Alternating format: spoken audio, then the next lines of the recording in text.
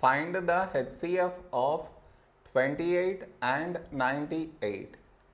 To find the HCF, for that we should do the prime factorization of each number separately. What I mean is 28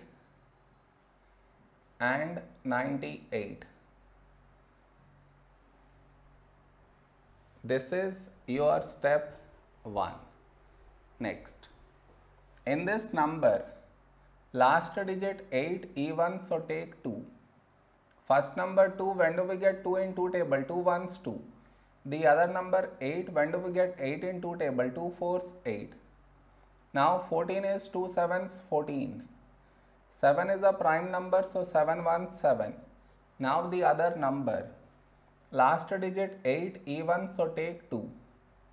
First number 9. A number close to 9 in 2 table is 2 fours 8. 9 minus 8 1 1 carried forward 18.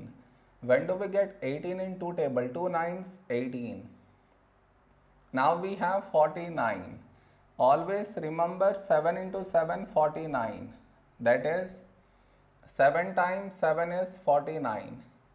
Now 7 is a prime number so 7 1 7.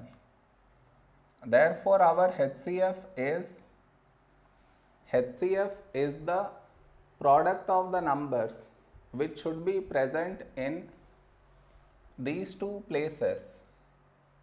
That is here and also here. Here and here. So now let us find the numbers which should be present here and here starting with the number 2 do we have 2 here? Yes. So cut 2 right here. Next number 2 do we have 2 here? No.